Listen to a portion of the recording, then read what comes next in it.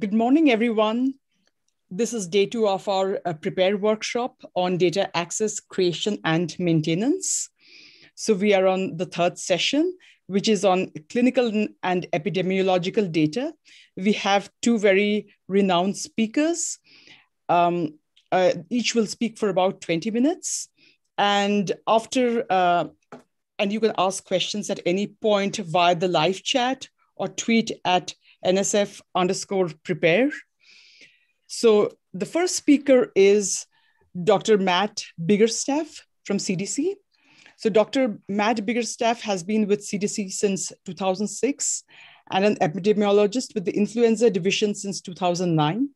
In this role, he leads CDC influenza forecasting and modeling activities and works to understand and evaluate how forecasting and mathematical modeling can complement influenza surveillance and inform seasonal and pandemic influenza public health actions. He has also led and supported CDC's and US government's interagency modeling and forecasting response to the COVID 19 pandemic since January 2020. So today he'll be speaking about improving pandemic response, employing mathematical modeling to confront COVID 19. So, with that, I ask Matt to lead the discussion, lead the talk. Good morning uh, and good afternoon, uh, everyone. Thank you for uh, joining and thank you to the organizers for giving me some time uh, to discuss uh, our work uh, at CDC. And given the sort of framing of this conference with sort of how data can improve public health preparedness, I've we'll be talking through a couple of examples of how sort of the open sharing of both public health data and modeling and forecasting results has really enabled uh, and advanced uh, the, the, science of forecasting and, and the use uh, of uh, modeling outputs uh, during COVID-19. So a lot of the work I'll be showing you is how this is all done out in the open and is accessible to the, the public and, and others for, for future research.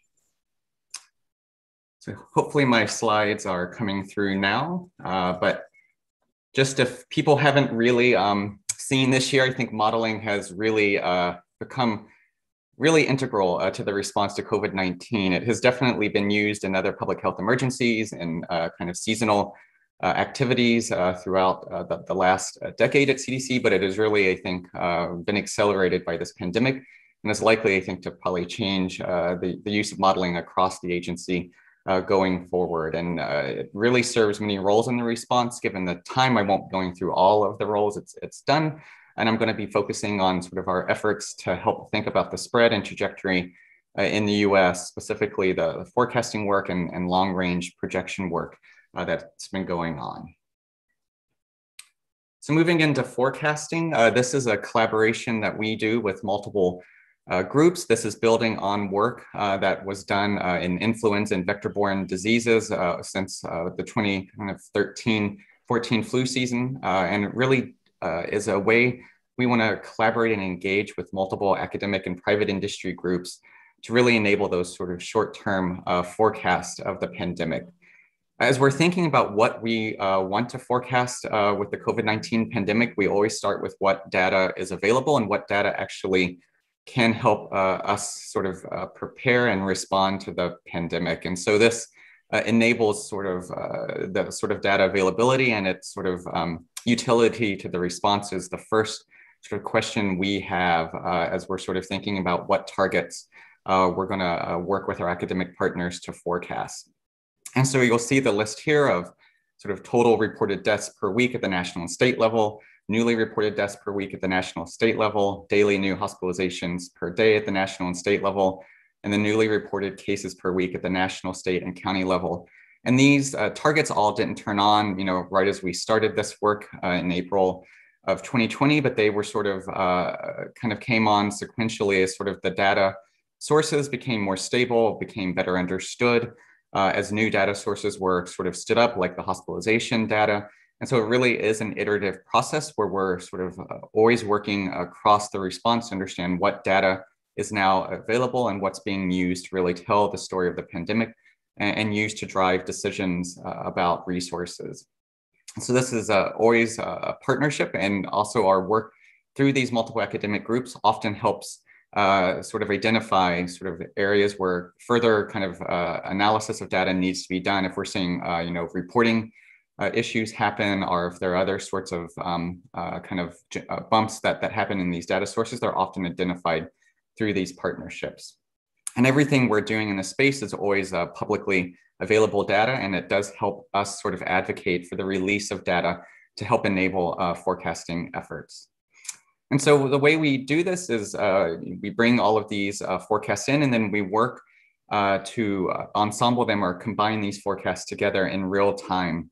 And we're also making sure we put everything out uh, in sort of other uh, kind of formats. So the kind of community can see both the individual forecasts that are coming in, the ensemble, how well those perform compared to what was observed. And I'll be walking through some of the open source tools and open availability of these data. So just going through, if you're wondering what the forecasts are saying this week and really how we've used them over the response, if we're thinking about our case uh, forecast, um, as, uh, if we're looking now on the horizon of about four weeks, uh, so that would put us at the week ending June 5th. Uh, you see all of the individual forecasts coming in on the left. So each of those colors is a group uh, that's really making these forecasts for us and working with us. Uh, and then you see the ensemble on the right uh, with those sort of individual, forecasts overlaid again in gray. Uh, the uh, on, uh, uncertainty kind of envelope uh, is in the red. So the 95% prediction interval is the light red. The 50% prediction interval is in the dark red. And so what that really means is 95% of the time, those observations should be in the light red kind of cone of uncertainty. And 50% of the time, they should be in the dark red uh, cone of uncertainty. And you can see over this period a very kind of strong uh, kind of indication of the ensemble of decline, uh, which is positive news. And by the end of this horizon, we could be seeing around 85,000 to about 400,000 new cases reported uh, this week. We also do this, as I mentioned, by the state level, and we're uh, seeing forecasts that are likely to decrease in 34 jurisdictions, and that's up from 27 last week. We do get more than point forecast as you're able to see sort of the uncertainty here.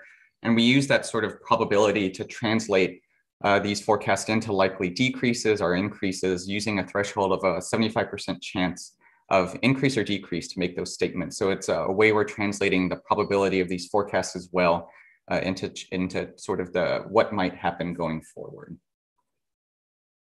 Moving to the hospitalization uh, data, this is coming from the system that was stood up by uh, HHS uh, in sort of the late uh, summer. And this really does give us great uh, awareness of what hospitalizations look like each day.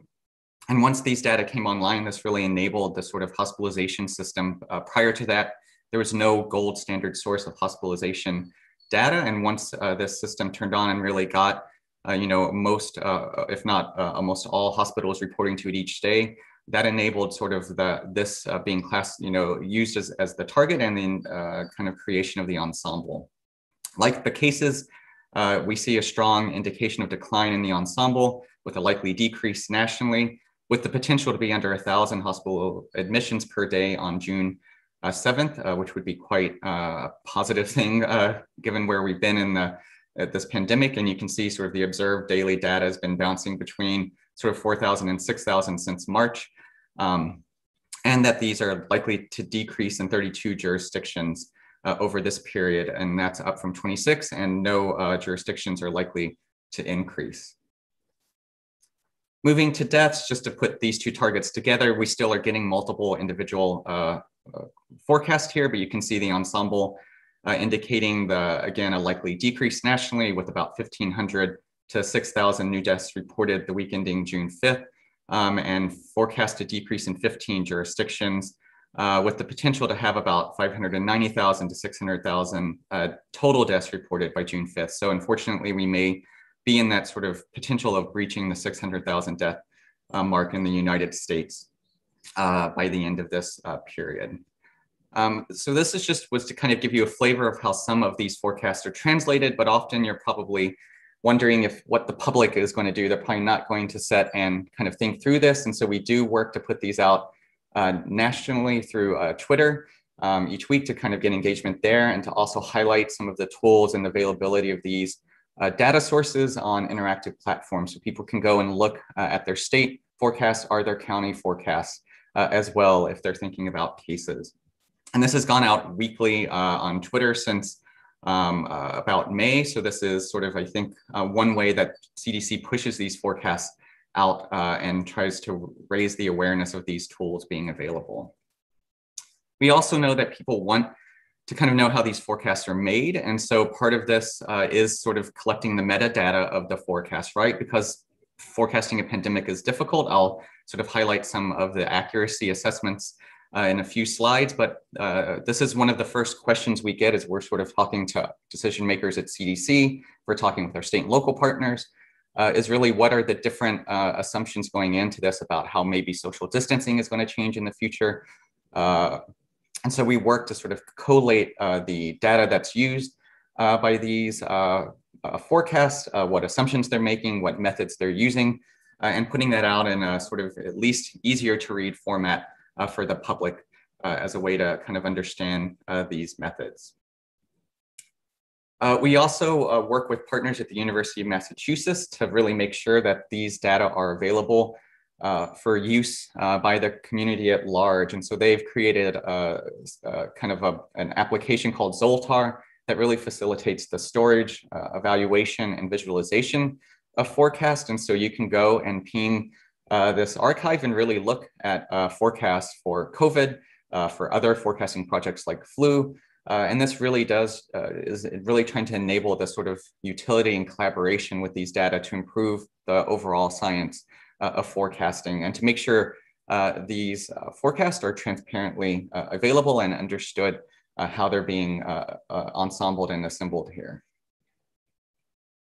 Uh, these sorts of uh, repositories allow sort of the on-demand comparison of forecasts with reported data. So this is on the CDC COVID data tracker uh, website. So if you haven't gone to COVID data tracker, there's a wealth of uh, data available there from across the response, uh, including these forecasts, case data, vaccination data, uh, serology data. Um, there's just more and more added every week. so it really has enabled and is a resource we highlight to the forecasting and modeling groups on uh, every call because there is a lot of information that can go uh, from that site that can be used to help uh, with model validation or calibration or um, parameterization there.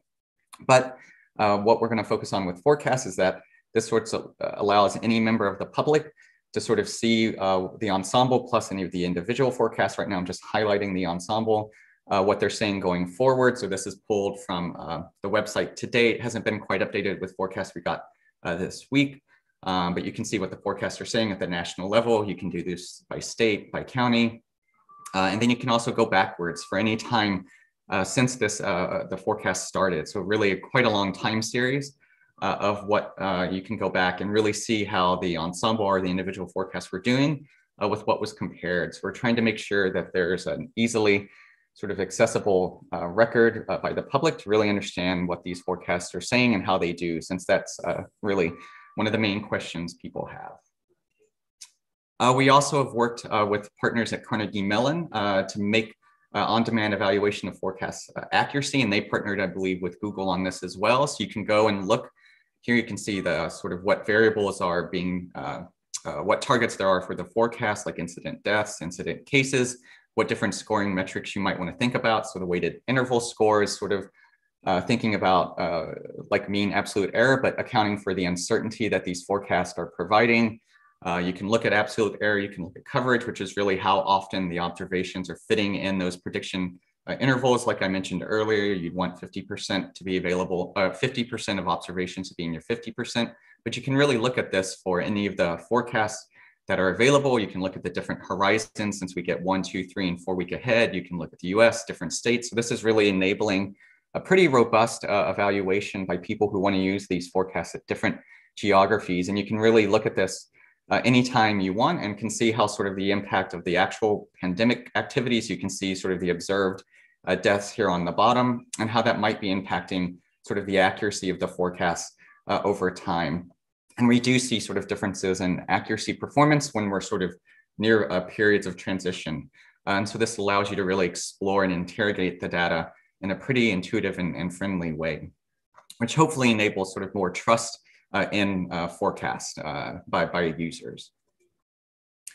Uh, having all of these data available also allows us to assess the ensemble and make sure sort of uh, that what we're using as sort of the main CDC message from forecast really is uh, a robust uh, kind of forecast and uh, you know that that it's performing as expected. And so we've been working uh, over the pandemic to not only have tools like I just showed, but also sort of more scientific um, assessments of these products. And so this is just showing a preprint uh, that we put out uh, last August on sort of the assessment of the ensemble performance, look, looking at sort of national uh, different states. And this is looking at sort of the 95% uh, prediction intervals with observations by different, uh, by US, different geographies, and then also looking at that coverage, as I've talked about, to see if our coverage estimates were matching uh, what we would expect. And so you can see uh, we also use this paper to sort of uh, update how we were making ensembles based on the performance with what we had been using previously in the pandemic here in the top,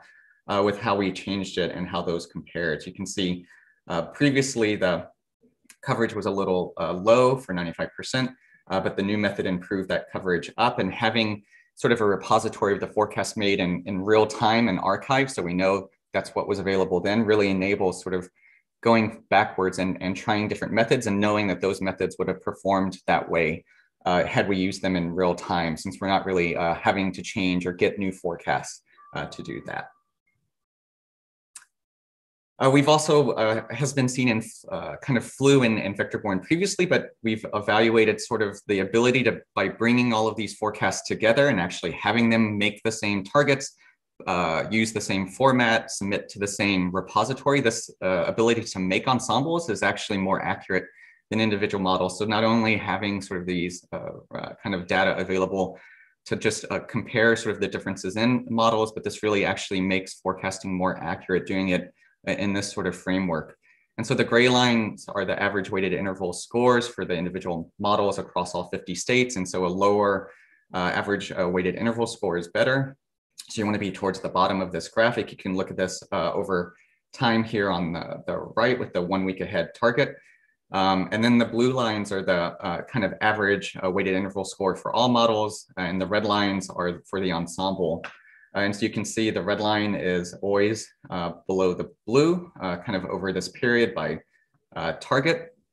and then you can see that there's a baseline here as well to kind of say, well, our forecast improving on sort of just what we might know by looking at the data themselves uh, and not really uh, trying to make a prediction. And you can see it's also below uh, that uh, green line as well.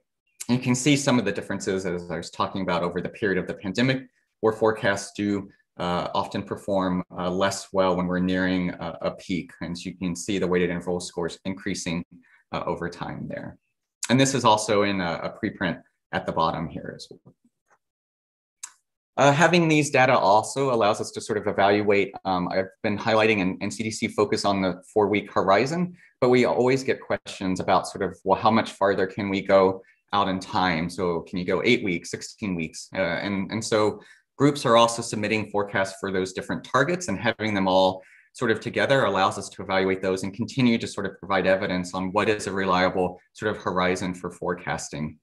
And so you can see uh, the kind of horizon here in, in uh, the different lines with the yellow being a one week horizon. And as the colors get darker, those horizons are sort of getting longer up to about 20 weeks for this darkest uh, color. Again, we're looking at the weighted interval score, so lower is better. And you can see weighted interval scores are, are lower uh, for the shorter horizons and they really increase uh, as you go longer and, and kind of get quite high um, as you're getting into these long um, periods. And this also looks at sort of coverage on the bottom. So how well did the forecasts uh, kind of match their uh, prediction intervals? And you can see these long horizon forecasts often do not really match uh, their uncertainty bounds at all. And we're getting 95% prediction intervals that are uh, well below 50% for these. And so this continues to sort of allow us to provide evidence on when our forecasts quite uh, kind of actionable and when we might uh, view them with a little more uncertainty about uh, long-term planning.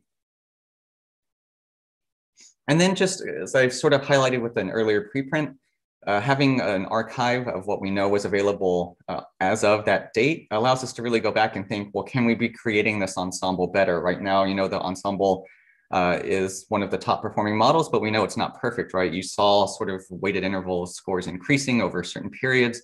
Uh, coverage is not always where we want them to be.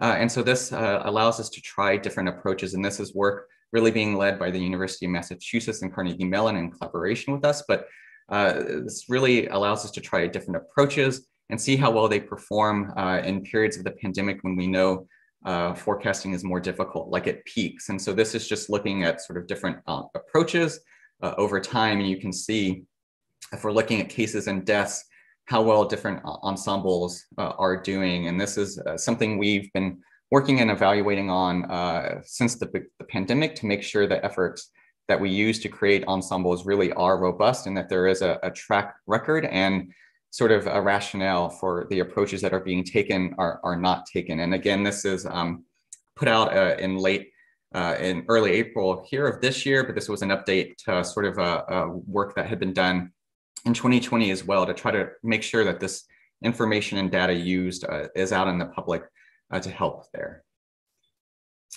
Uh, as I've sort of highlighted, we you know think there is sort of a, a period when uh, forecasting, which is really trying to say what will happen when there's a horizon where there may be uh, not as actionable. And so I did want to highlight sort of another effort on long range planning scenarios to really try to take us a few months uh, or uh, into the future of maybe that three to six month period when it really does help uh, with some planning and thinking through what might happen if policies change or if we're able to get vaccine and arms faster. And again, this is done in an open kind of data framework uh, with groups really thinking through together what uh, should we be uh, projecting going forward, what data should be used as sort of the uh, data to calibrate, what common assumptions should we be using, and how do we sort of describe those in a framework that makes sense. Uh, and then how do we submit an ensemble of these projections together? So you can see a list of kind of participating um, uh, groups here. This is again a multidisciplinary and multi-group uh, approach. And I'll just walk through a couple of uh, scenarios, uh, the kind of last round of scenarios that were put out uh, by this group that we then were able to put into a, a more, an MMWR from CDC uh, to really highlight what might happen to the pandemic over the next few months and really how our actions with the use of non-pharmaceutical interventions and vaccinations can really impact that. And so this is coming from round four. There uh, was done in, in late March. And we really wanted to focus this scenario on sort of the interacting effects of non-pharmaceutical intervention use uh, and vaccination. And so uh, really how could uh, NPIs, their change in the intensity of those NPIs uh, be impacted with uh, different levels of vaccine. And this also included B117, uh, which is one of the many variants causing us a bit of stress in the US and around the world. but just to kind of understand how an variant with increased transmissibility uh, might uh, also impact these results.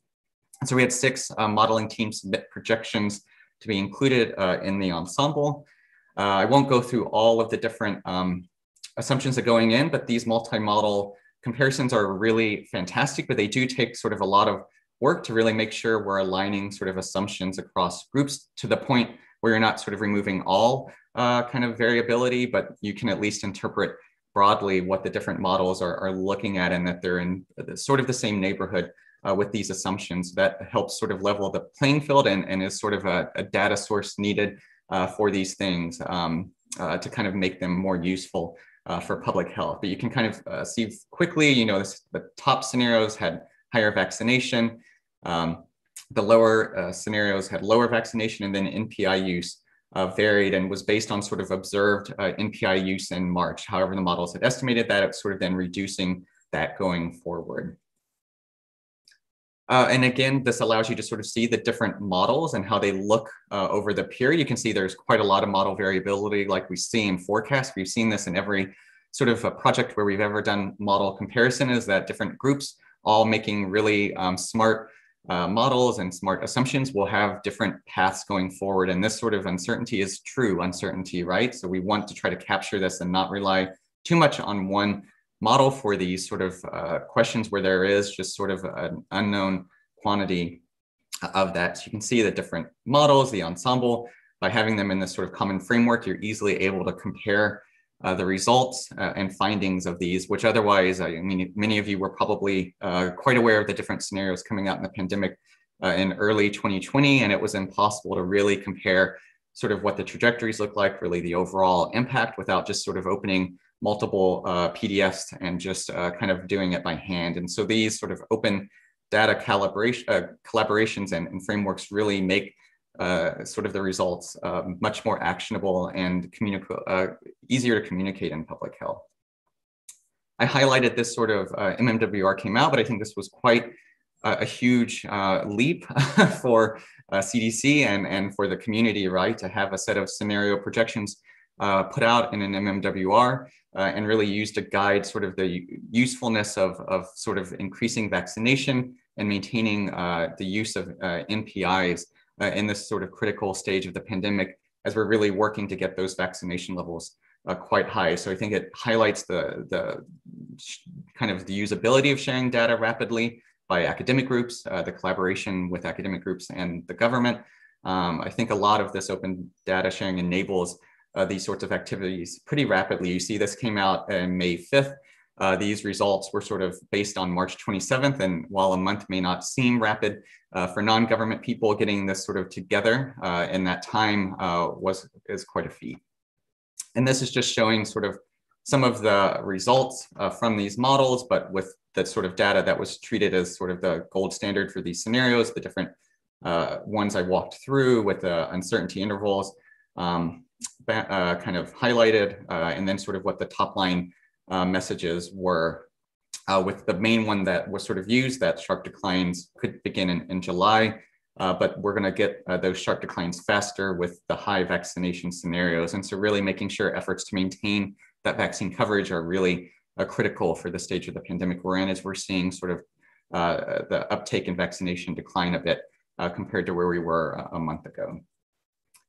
So that was a really quick uh, kind of overview, but I think uh, hopefully people uh, understand really how modeling has been critical to the COVID-19 response and CDC is utilizing uh, a lot of data to inform public health decision making. Uh, and really it does help improve situational awareness. We're able to synthesize a lot of uh, data together and it really is in informing the evidence base for our mitigation strategies. So thanks for, for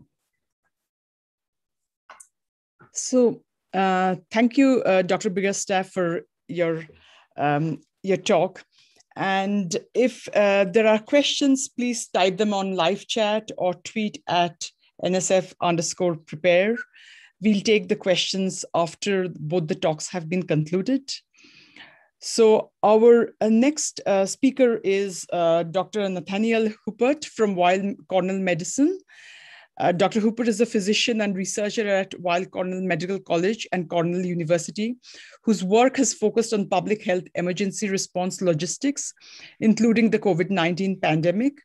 He currently serves as the translation and policy lead for the Oxford and Cornell based COVID 19 International Modeling Consortium.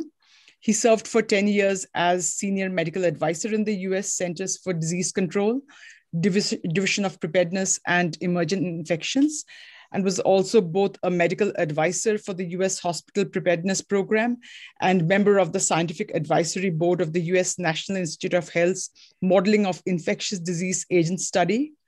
He practices internal medicine as a hospitalist, hospitalist at New York City's Lower Manhattan Hospital and trained at the University of Pittsburgh and Harvard Medical School. So today he's uh, going to give a talk on COVID-19 data requirements for clinical and logistical modeling. With that, the floor is yours, Dr. Hupert. Thank you very much. Um, I hope you can hear me. Uh, I really appreciate the uh, kind introduction and uh, also the opportunity to uh, be with my old colleague, uh, Matt, and, and all of you. I'm going to share my screen now. Um, and here we go. I'm going to speak about some things that are different than what Matt spoke about.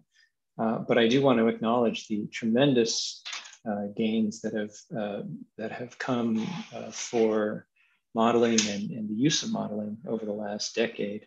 Um, a historical point is that I was actually asked to assist uh, the CDC in creating its first preparedness modeling unit, and that was only back in 2008. So the, the strides that have been made are, are truly great.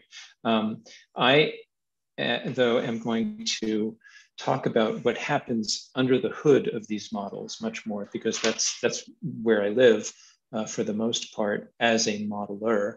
Uh, I'll, I'll leave the model translation bit a little bit to uh, to the end of the talk. I received a, uh, so we, we were confronting the outbreak of COVID in February. Uh, certainly we knew about it in, in January. We were confronting it in February. We were sure that we had cases in New York. And then at the beginning of March, uh, things really uh, reached a, a, critical point. And um, I was in co contact with multiple modelers across uh, the country and across the globe. And one of them from the United States wrote me this email on March 21st.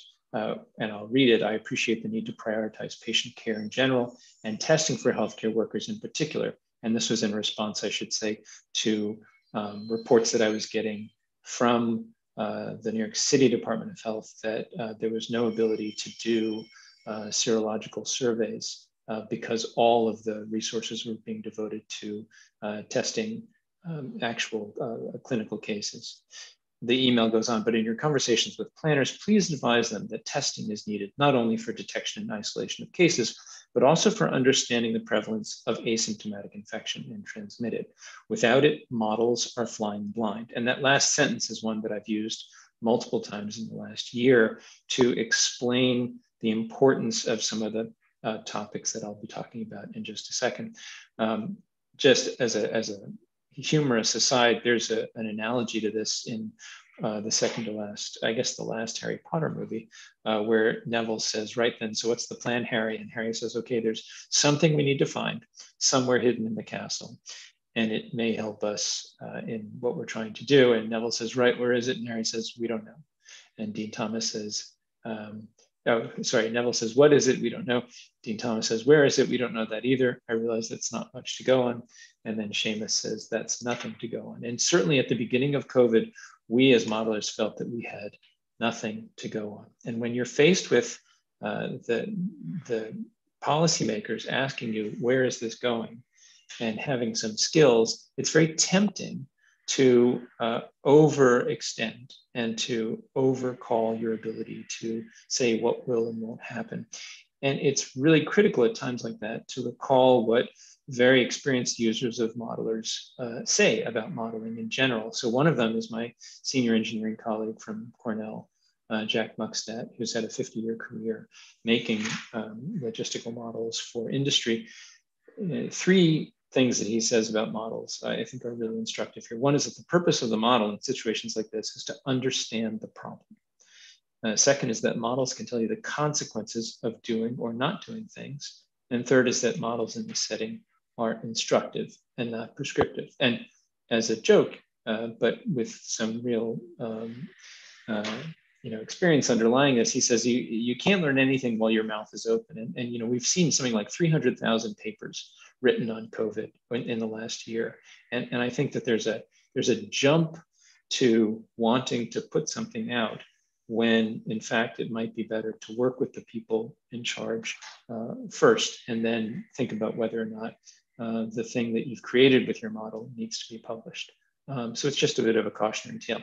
In addition, I would say, as you can see from this slide, there are many sciences in which modeling uh, can be useful for predicting and preparing for public health emergencies. It's not all simply infectious disease uh, dynamical models.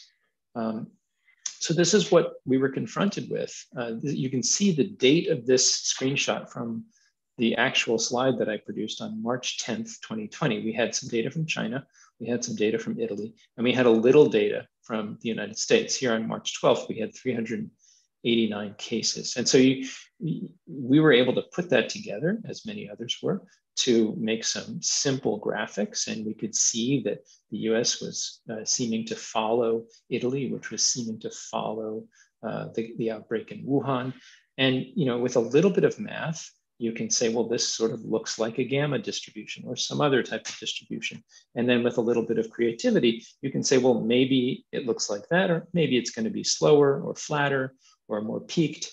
Um, and what we did was because Matt and his colleagues at CDC uh, really jumped on the ball and created a brief series of modeling guidance documents uh, that had actual quantitative um, uh, uh, uh um, templates for how to make some of the initial models, we were able to produce, and you can see this was March 11th, a very simple Excel-based, you know, spreadsheet-based calculator that went from a population to a symptomatic attack rate uh, and an asymptomatic attack rate uh, with huge variability. And we, we, had no idea what the final numbers were going to look like, um, with some data from CDC about how we might be seeing uh, the age-based distribution of hospitalization and critical care use. Uh, and we were able to take that and produce some outputs. Uh, and this was you know, really at, before New York City even had an outbreak, we were able to say this is what the outbreak might look like. Uh, and then we added a little bit of a simulation with my colleagues uh, from, uh, from Cornell and, and from uh, actually from uh, tech, Singapore University of Technology and Design, that's Peter Jackson, and produce some estimates of what the hospital census might look like in New York City on the basis of some of these parameters uh, and produce some quantitative output that in this case, for example, for a severe um, outbreak would see a, a, peak occupancy of 8,800 uh, on, on day 32. You know, many, many assumptions going in here. It turns out at the end of the day, when we actually get information from the city and from the state, that these uh, were not completely unreasonable estimates. And so it, it just shows that very basic modeling without any uh, sophisticated mathematics can actually uh, uh, you know, give planners some reasonable um, framework for thinking about what might be ahead. I'll point out a couple of interesting things here. One is that in the dark blue, it's the New York City data. In the black, it's the New York State data. And you can see that they're very similar in terms of death accounting, but very different in terms of admission counting. And so this is because New York City was using a different set of criteria for understanding what a COVID hospitalization was. And this difference of about 50% persists across the entire outbreak. Uh, and, and so this just gives you a sense of how things that would seem simple to an outsider, uh, like is this a COVID hospitalization, may not be so simple. The other thing that I'd point out is that the census uh, that we predicted with this very simple model uh, went up and went down, but the census in real life actually uh, had this huge lag. And that's critical for understanding how health systems are going to cope with a crisis like this. Uh, and so it, it just calls for uh, more sophisticated modeling. But at the end of the day, the final version of this model, which we really stopped working on in around April, required these pieces of information to make a, even somewhat accurate estimate of hospital utilization. It requires a understanding of the population and the age structure of the population. So we were going back to the census and, and to the American Community Survey quite a bit. A, an attack rate, so the proportion of people in a given area who will become infected. And that's, of course, an unknown at the beginning of something like this. An asymptomatic rate, so you want to know what fraction of those people will actually go seek care. Um, the hospitalization rates by age, because some of the um, breakdowns are, are figuring out what group in which age category will be using different parts of the hospital and healthcare system. And then critical care use um, by, uh, by age. And then patterns of utilization, which is really different than are they going to the ICU or not. So this, for example, is if they come from the emergency department and they go to a medical a regular medical ward, will they then wind up going to the ICU? And if they get better in the ICU, will they then come back to the re regular medical ward? I believe that that the the, the transitions um, inside the hospital by location uh, that were unaccounted for by the simple models are what uh, we would need to uh, input into the model to get the proper distribution of the length of stay. And then, of course, quantitative estimates of length of stay by outcome and location, and then fatality rates by age and location. So it, even for simple models like this, it's a, it's a tremendous amount of information. Where do we get that information? Well, New York City, I think, was one of the leaders in the world for producing and publicizing information, starting with syndromic surveillance, then hospital admissions, although New York City did not break down hospital admissions by type. So it was an undifferentiated, this person entered the hospital.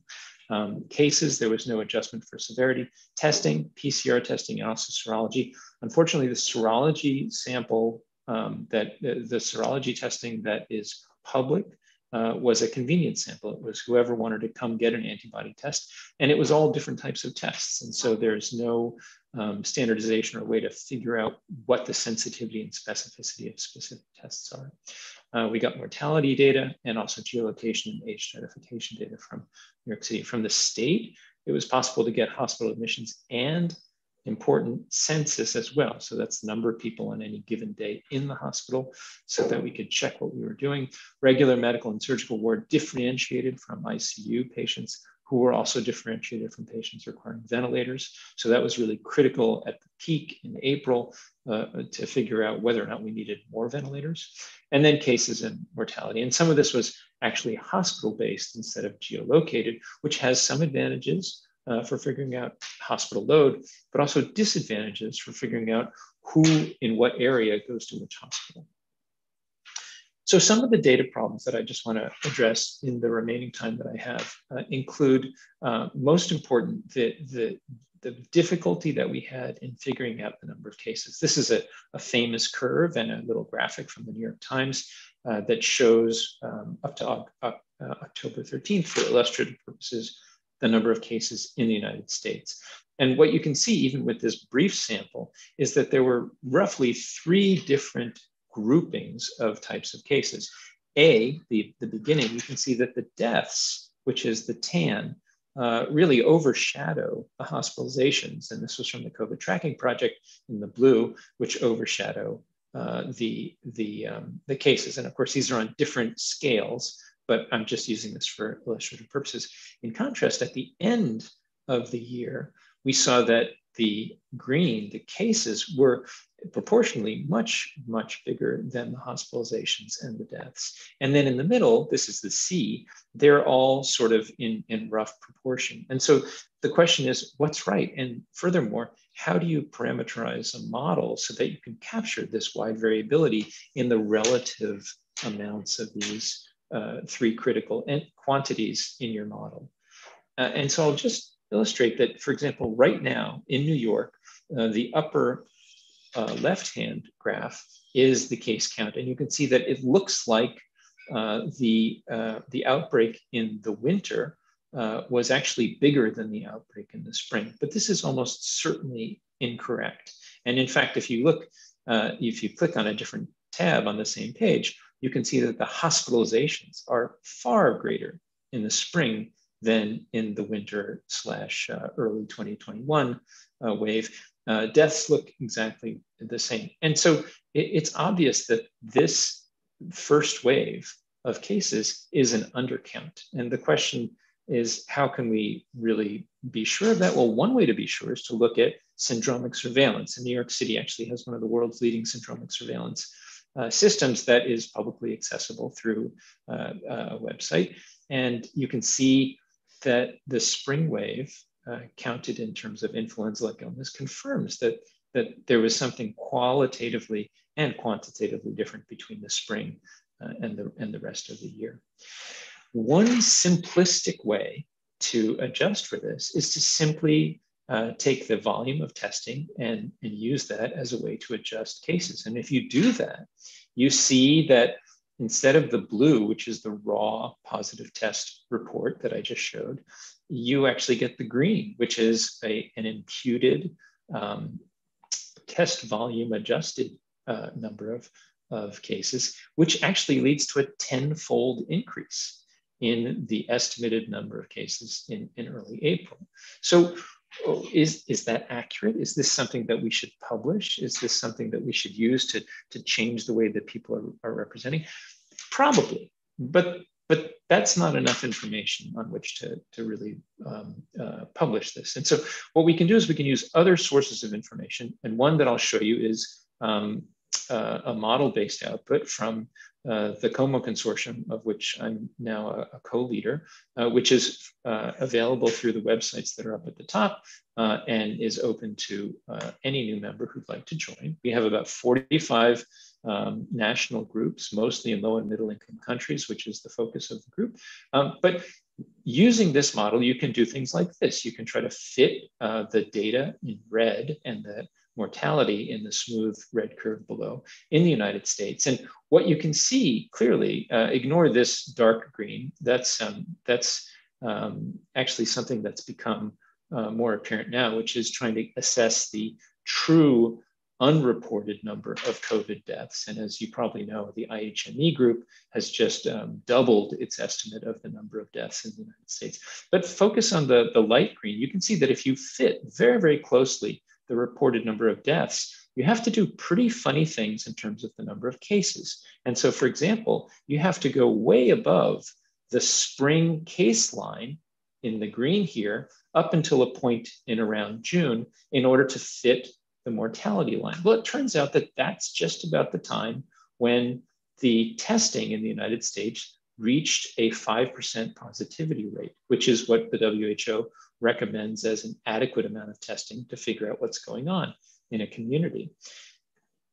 This is really important for understanding clinical modeling of COVID and presumably for other diseases. If you don't adjust, and this is again for New York City, if you don't adjust the number of cases, you wind up with extremely high um, case hospitalization rates. If you adjust it, you wind up with reasonable ones. So if the unadjusted at in, in April, when the hospitals were overwhelmed, if you would you would imagine that 35% of all COVID cases wound up in the hospital.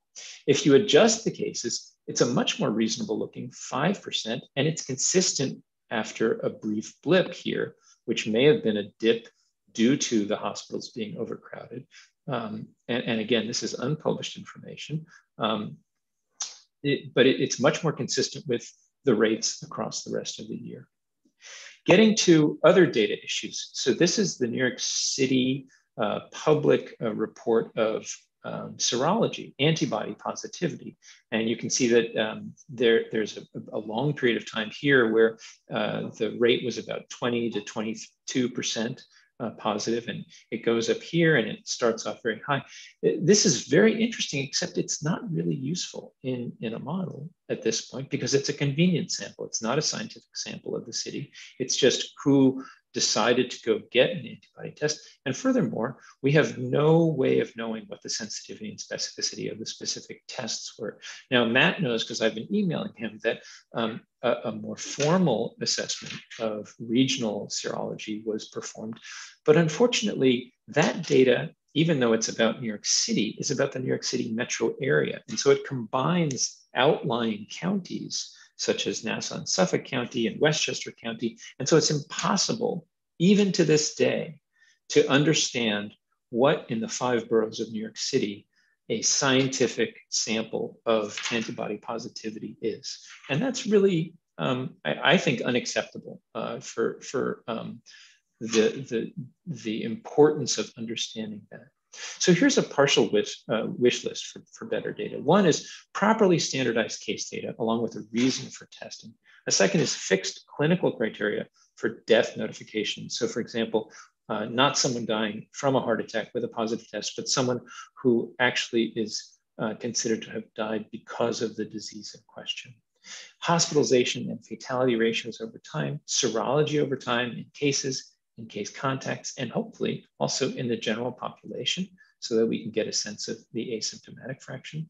And then newer, but nonetheless very critical, vaccination status, including uh, people who haven't had a vaccine but may get one, uh, single vaccinees, double vaccinees, and critically, uh, the vaccine time, uh, sorry, the vaccine kind, uh, so that we can understand uh, the real world efficacy of these different vaccines, which is actually much more important now in an international context with the difference between, uh, for example, the, the Pfizer and Moderna vaccines versus some of the other vaccines that are out there.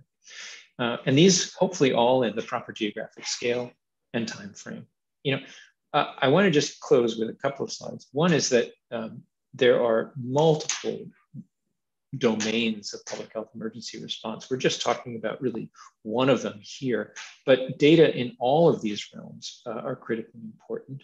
Um, and then finally, uh, I would agree with much of what Matt said. I'm, I'm a little bit cautious about the use of modeling in these emergency contexts. Uh, the focus of the COMO consortium is less about prediction and more about understanding the impact of different interventions um, on what has occurred. Uh, and so I believe that modeling really uh, can, can help us with these three things. One is problem definition. There are epidemiological problems, there are policy problems, and then there are tactical problems.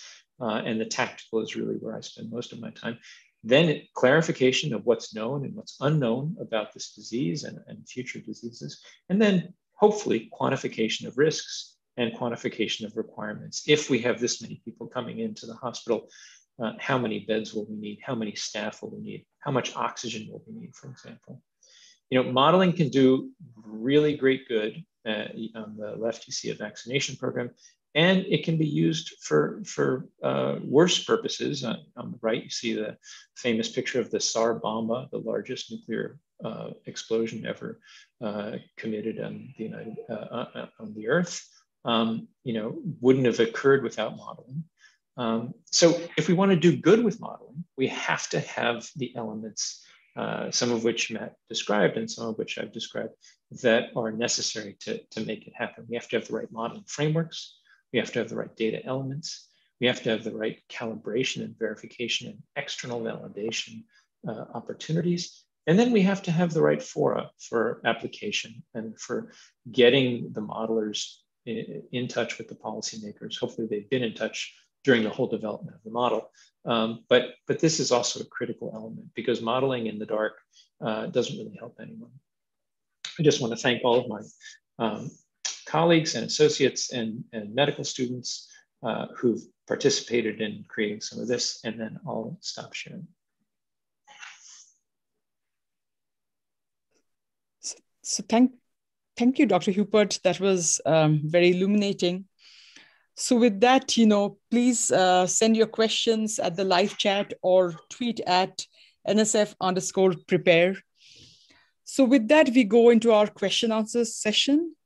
And uh, some of these questions are uh, directed at the individual speakers, but, you know, feel free to, you know, chime in. So, um, so first, you know, the first question is fantastic talk, Matt. Um, what differences have you seen between forecasting something like the flu and COVID 19? And do you account for different variants? Yeah, thanks for the, the compliment. And, and I mean, the sort of uh, work to forecast uh, flu and, and COVID is a, a, bit different with just one, the, the scale of the COVID forecasting is quite different than the scale uh, of flu forecasting there. We were uh, using one indicator, influenza like uh, illness uh, that uh, we had at the national and state level. So that was, you know, much fewer targets than what we're doing with COVID. Um, you know, where we have three different targets, some one that goes to the county. Uh, also with uh, flu, uh, we had quite a long track record of, of surveillance, right? That system that is used for forecasting flu or was used goes back to 1997. We've had multiple seasons, different strains that are circulating. Uh, so it really does give modelers, a, I think, a better sense and forecasters a better sense of what is the possibility with seasonal flu. We, of course, didn't have that uh, with COVID, so there's a lot more uncertainty. The data is a lot uh, more changeable, as uh, Dr. Hupert did a really nice job of showing, uh, you know, that sort of changing ascertainment of cases over time.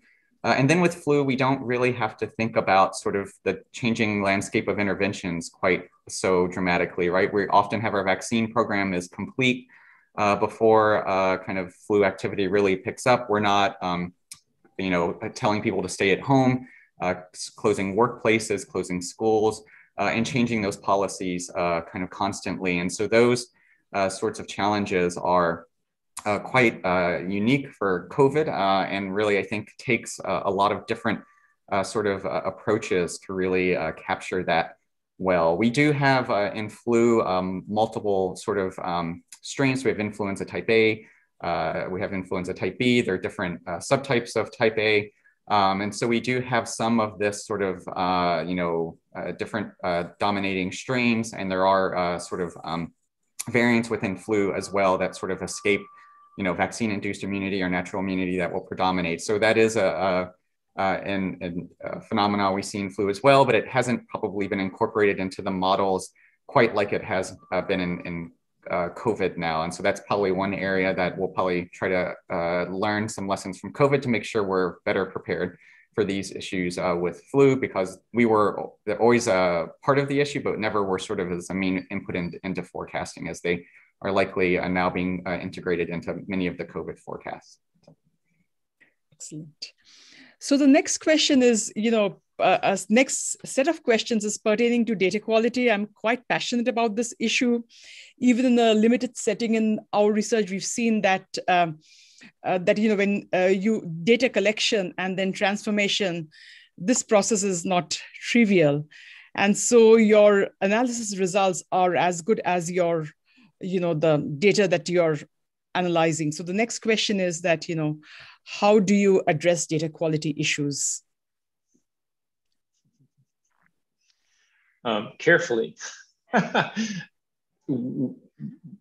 of this is um, our absolute reliance on uh, frontline public health partners. So, for example, if you go to the New York City GitHub site about their data, they have a nice description of how they wind up with their uh, COVID hospitalization numbers. And they talk about this four part complex process where they go to their lab and they, they look at syndromic surveillance. This is why they report double the number of hospitalizations as the, as the state, because the state doesn't have the, the ability, the depth, the experience to do this. Uh, I think this is a, you know, it seems to me that that's that's the sort of example that needs to be highlighted. And of course, I'm very reticent to, to, to publicize that much because I'm not sure that the city and the state would be happy with people knowing that there's this huge gap. But that's the reason for the gap. The, gap, the, the reason is that the city finds that this is a critical topic on which it is willing to spend over the course of a year multiple FTEs worth of of effort to make sure that, that they have the most accurate numbers possible. Um, I, I've looked across the, this, the, the country. It's rare to find a, um, a state or a city that is reporting daily hospitalizations for COVID. It's much more common to find that people are reporting back on their uh, data aggregation sites what the hospitals are saying their nighttime census is because that is something that you simply hear and then aggregate and report. Finding the individual cases is much, much more difficult. And so I think really this is one of the places where the uh, increasing and I think really necessary talk about refunding public health comes in. Because without robust public health infrastructure and without people who are assigned to do this, we won't have good data. It's not something that can be accomplished through cheap automation. This requires people, and these people need to be trained, and there needs to be continuous funding. And it's an investment. And also, I, and um, Matt, would you like to add some more to that?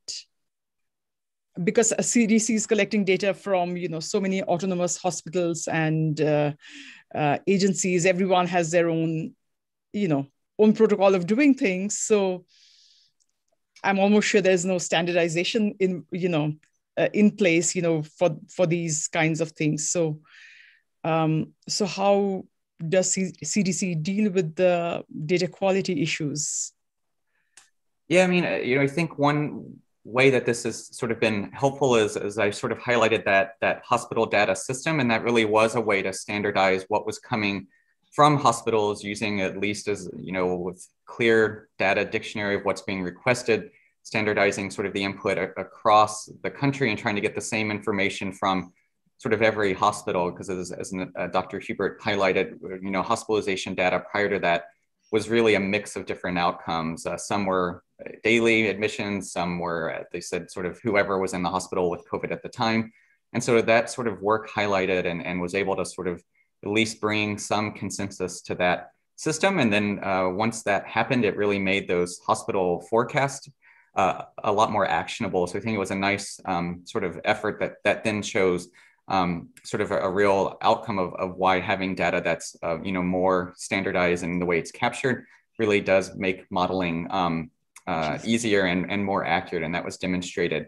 Uh, I think with sort of the case and death um, uh, kind of reporting uh, systems, there are sort of case definitions, but you know every state and jurisdiction sort of can uh, change how they're reporting either the frequency or if they're reporting probables or confirms.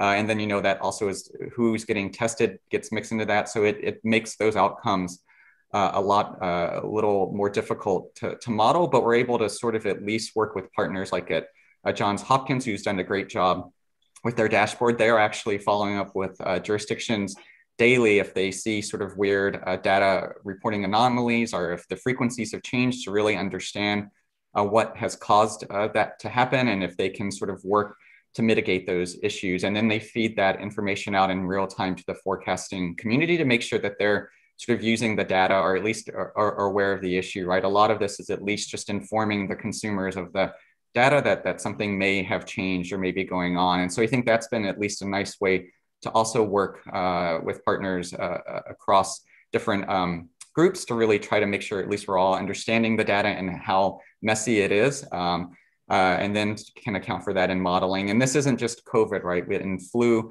uh, you know, when we were doing real-time forecasting, there's always going to be sort of reporting uh, issues that happen or changes in surveillance systems. These are sort of real-time activities and they never are going to work perfectly every day of every season. And so uh, people who are working in forecasting are at least uh, often aware that these happen, but we always try to at least provide the information that can help them interpret uh, what's going on while we're uh, and, and try to work to make sure those uh, issues don't become sort of systemic or are permanent.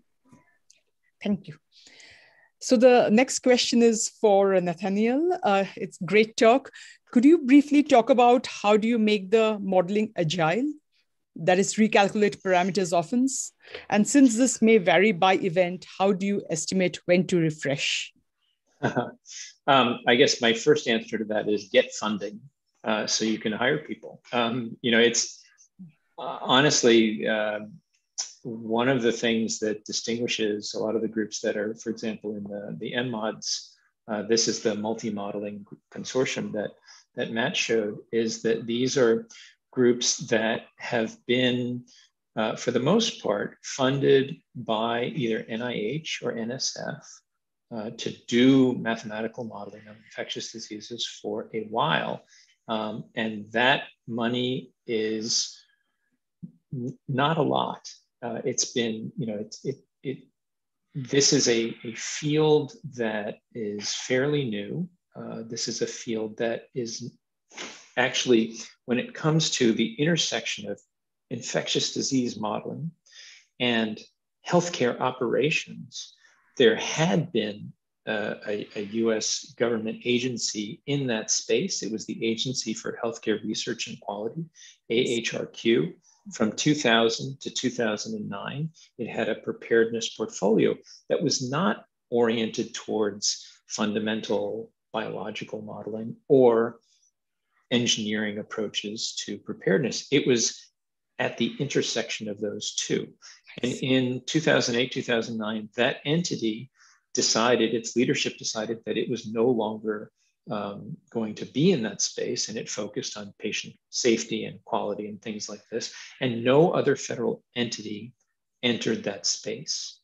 Um, and so I think it's really important for people to know that it, it is difficult for, say, academic institutions to generate the support that would be needed or that is needed for um, having trained professionals who can do the sort of daily updating of these models that would be expected both from public health officials, uh, political officials, and also the general public. The, the ones who do it often do it because their institutions are supporting them or because philanthropists are supporting them. And that's a pretty, you know, thin uh, platform on which to base something that in the time of crisis we all consider so incredibly important. So to answer the question, I, you know, these, these things really need to be updated daily or at least weekly as things change. We see that from the ensemble models changing uh, uh, pretty rapidly. Um, but but it's very difficult to do that. And so uh, there, there's no there's no one standard. Um, and this is why, frankly, you know, my group, the COMO Consortium, uh, and, and my group at, at Cornell have not been able to engage in, in some of these uh, updating heavy or updating intensive uh, ongoing activities. We chose to focus on other things that are more, uh, you know, that that's a that's a that's an operational model. We we've focused more on tactical modeling um, uh, and, and, and also on strategic longer term modeling. You know, what, where, where, where have things been focused and what have been the, the effects of those interventions? And then long term, um, you know, what, what are the pictures that are emerging about how this virus has circled the globe? So the next question follows very well, you know. So could both of you give us a little bit of insight regarding the strategic versus the tactical use of modeling in this context? I guess you Okay. Um, I mean, people people argue about the, the difference between operational modeling and tactical modeling. You know, I think formally from an engineer's perspective, the longest uh, outlook is a, is a strategic model. And this would be like uh, a delivery company deciding to put a hub in a city, you know, this city versus that city. It's a, you know, 10 to 15 year time frame. Um, next, next on the list would be operational modeling. So how do you design the, the, the warehouse in that hub? Where the, you know, the rails going to sort the packages one way or the other? And then tactical, if you think in this framework, would be the most acute. You know, on this day, this loading dock is broken. So how do you reroute the trucks to get around that particular problem? From a modeling perspective, a, a tactical model might be something like uh, we see a rise in this community in the number of cases. What should be the next non pharmaceutical intervention that is increased? And uh, literally, I was just uh, for the Como Collaborative uh, uh, on a presentation by uh, a group in Syria and a group in Bangladesh, where they talked about doing, and, and, and Kyrgyzstan as well, um, where they talked about working very closely, sort of hand in glove with the public health authorities to monitor, you know, what the recommended lockdown looked like and how that. So that's a tactical model. That that's very rare, and mm-hmm. certainly that's not really happening, to my knowledge, anywhere in the United States. Mm-hmm. Um, if you go up to the strategic level, I mean, one there there are a couple of universal questions that come from policymakers in public health to modelers. One is, where's this curve going? Mm-hmm. Uh, and of course, that's the one, that's the big one that Matt and his whole group are trying to help answer. Um, but, but other related ones are uh, things like what resources should we have on hand? Or when is vaccination going to kick in? Uh, and these are, these are more long-term um, and in fact, there are sort of subsidiary questions like, well, if we want vaccination to change the course of this, how should vaccination be rolled out? That's something that's uh, you know a model of that nature, which is actually one that I've uh, worked on with my colleagues in engineering at Cornell, um, is the type of thing that you would give to the public health policymakers even before there's a vaccine, saying this is an approach that you may want to follow, and these are the reasons that you may want to follow it. So that's one long-winded answer. Sorry, Matt. very, uh, very informative. It's yeah. great. I was glad because we, I think we don't use the exact terminology. So I was glad to hear uh, Dr. Hupert uh, sort of explain uh, the, the differences. But I, I, think I also wanted to just circle back to that previous answer and sort of highlight, I do think um, there is more funding coming out of CDC to sort of support uh, the academic groups and the, the use of these sort of operational uh, modeling activities. And so uh, in flu and healthcare associated infections and HIV. And then for COVID, we've put uh, you know um, tens of millions of dollars out over the last um, few years in this space to really try to support groups who who can sort of start trying to turn uh, the, the dials on these models each week and uh, to try to help kind of make sure there is some funding available uh, for groups who are who are working in sort of the applied uh, modeling space. So just wanted to provide a, a quick um, update there that I, I, do think more money has been going out uh, and hopefully that will uh, continue in the, the future.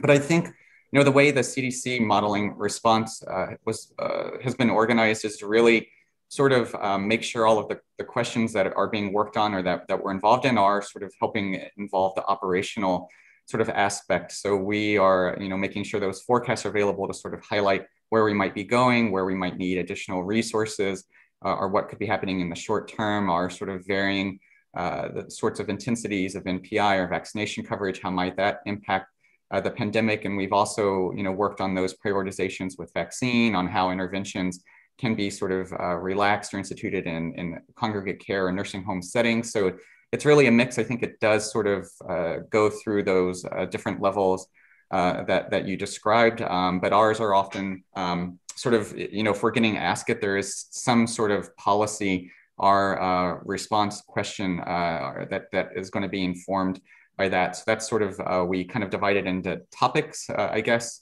um, but they're all sort of at least in some timeline of, of what the response needs, either very short term or there's an update to policy coming or uh, they're considering sort of different options for, for the future. So. Thank you. Thank you. So the um, next question is for uh, Nathaniel. Um, so thank you for the, so for the data wish list, what's the most critical in your view to make it happen?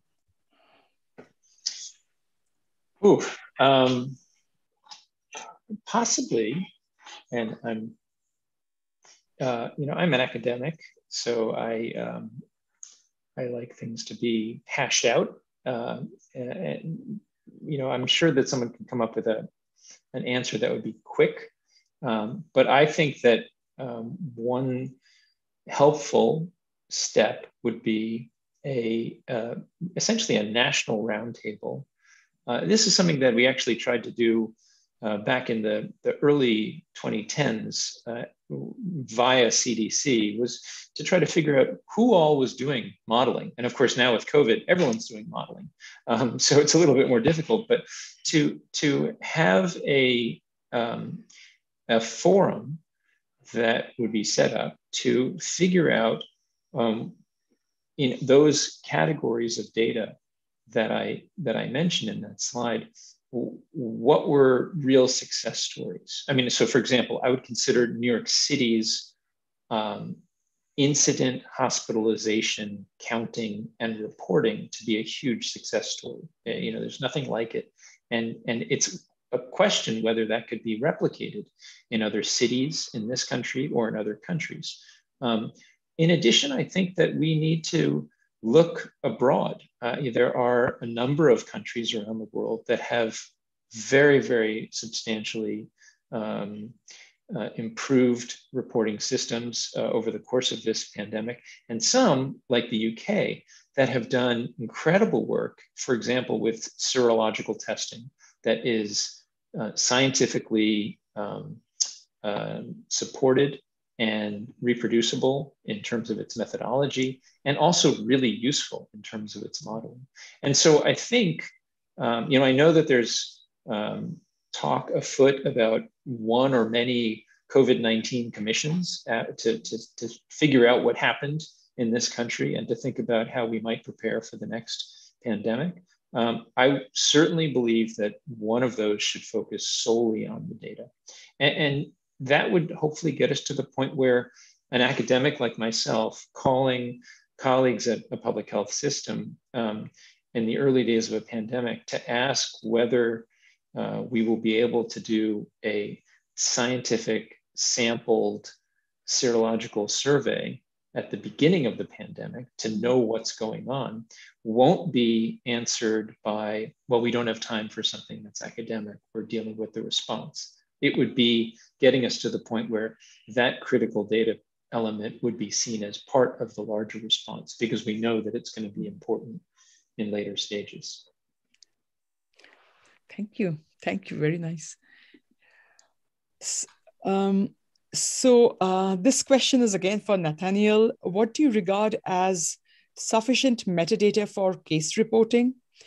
Presumably, categories include asymptomatic, asymptomatic contact traced surveillance. Are there others you would prioritize? Oh, that's a that's a tough question. Um, certainly, you know, you, you, come face to face with a, a, a COVID patient, uh, as, as my colleagues and I have done over the past year. And each one has a different story. And the question is how much of that story is really relevant? Um, obviously, if we're, if, if a physician like myself is coming face to face with a patient, we've already excluded a huge proportion of the number of probable infected individuals. And so certainly capturing both asymptomatic and there's a whole question about what that really means. Is it truly asymptomatic? Is it durably asymptomatic, or is it just asymptomatic for, a certain period of time? So people who have um, no known symptoms, that's one category. People who have some symptoms uh, and maybe go to their primary care doctor or would have if primary care practice had been open during the, for example, the spring wave in New York City when basically nobody was going anywhere except to the emergency department. Then there's the differentiation of emergency department categories, seen in the emergency department and not admitted, or seen and admitted.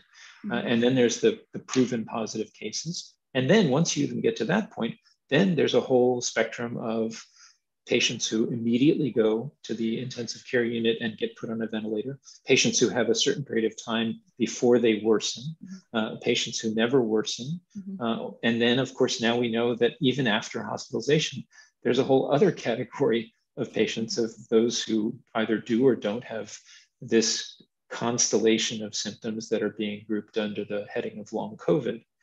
Um, so it, it, it, it sort of, it takes a village to figure out what this mm-hmm. simple delineation means. And, and I think that we could simplify that into something as simple, you know, put it on one hand, you know, mm-hmm. people who have no symptoms but are infected, people who have some symptoms but don't access the healthcare system, people who access the healthcare system but are not admitted, people who are admitted, and then people who are critically ill.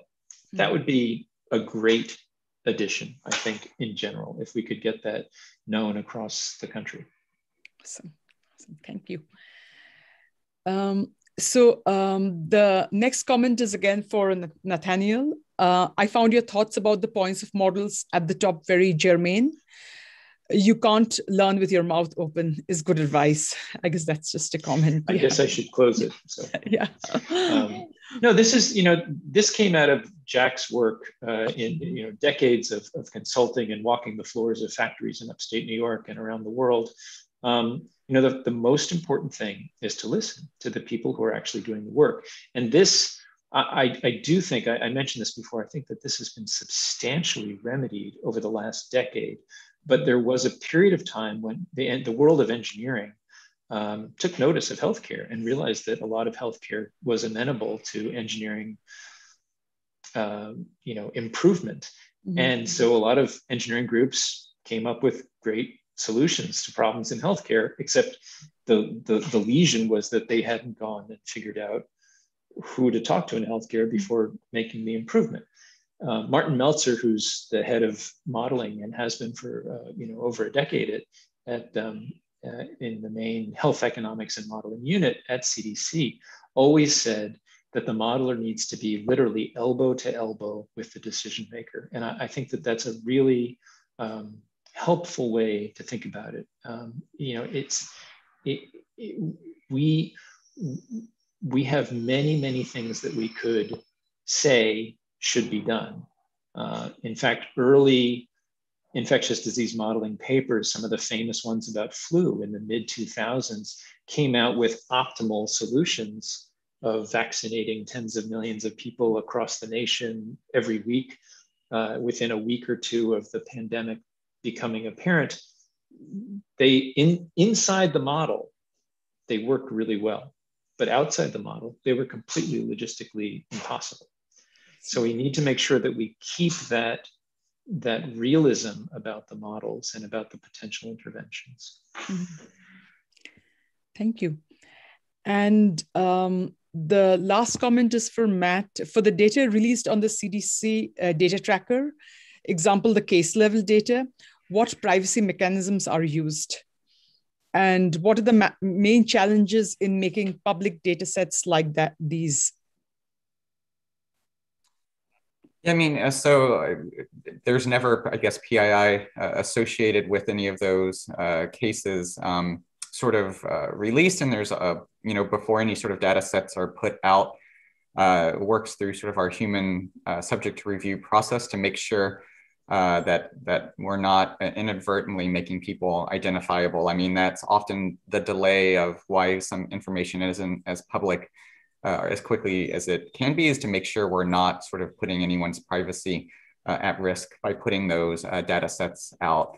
Um, and, and, then, I mean, one of the, it's not a challenge, but as you know, or maybe people are, aren't as aware, but the public health system in the US is, uh, you know, a set of different jurisdictions that own those data. So we don't have, you know, a centralized um, public health system since we're a federalist uh, country. And so states uh, are have you know kind of sovereignty. And so when you're putting data out you have to make sure we're sort of doing that in collaboration with our uh, partners at the state and local level and not sort of um, putting information out that either can make their lives more complicated because it maybe is painting a, a different picture than the sources that they're relying on. You know i think as dr hupert highlighted people may use different definitions. And so you can spend a lot of time at the state sort of trying to explain the differences in your data uh, compared to CDC. Um, uh, but so you, you sort of work through those processes and, and partnerships to make sure we're all sort of working and, and talking uh, from the same playbook when things are going uh, out in that information and making sure states are sort of aware uh, of what could be going up so that they are prepared uh, to, to answer those questions. So that's, it's not really, I think, a, a challenge, but it's just, I think, one of the most important uh, aspects of sort of getting data up on a site like uh, on CDC that could get a lot of visibility is to make sure sort of the awareness of what those data sources are, how they were collected, what they mean, if they can be used for public health uh, decision making, and sort of time that there's all of that information available uh, to, to our uh, partners uh, across the country. So. so thank you. I have a few more questions. so the next comment is enjoyed both talks, and this question is addressed to both of you. Do you think an emergency use authorization for privacy related surveillance data would be useful? Ooh, Matt, I'll let you take that. I'm not sure I can, I guess, speak uh, eloquently to that uh, topic uh, enough to give, I think, a coherent uh, answer. I've not um, really, I guess, thought about uh, what something like that means and, and sort of what it would uh, en enable. Um, so I, I, I might defer a, a, a, an answer on that one. Yeah, I you know, I guess my answer would be that there's plenty that we can do mm. to improve data before we get to a point where we're telling people that we have to jeopardize their privacy mm-hmm. in order to have a better public health outcome. Okay, thank you. So, um, excellent presentation and discussion. And uh, are any of you involved in the NIH RFI for CD common data elements for COVID-19 research? Uh, no, I'm not. I'm not even. I guess we should be. uh, thank you uh, so much, both of you. Uh, the talks were great, and the question answer session. You know, you um, taught us many things. So thank you once again. And um, with that, you know, um, uh, we conclude the session. And um, I guess, you know, the um, viewers are uh, free to continue uh, typing their questions on live chat or tweet, you know, their questions. So yeah, at NSF uh, dash prepares. So with that, we end and the next session begins at uh, 2 p.m. Eastern time, which is more on privacy, I would say. Yeah. Great. Well, it's a it's a pleasure to, to be on stage with Matt, so to speak, and um, uh, for the whole Prepare team, thanks for the invitation. Thank you. Thank you. Thank you. Okay.